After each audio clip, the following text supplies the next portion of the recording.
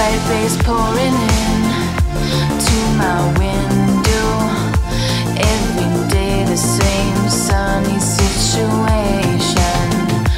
Rocking in my sheets with the top down on the highway.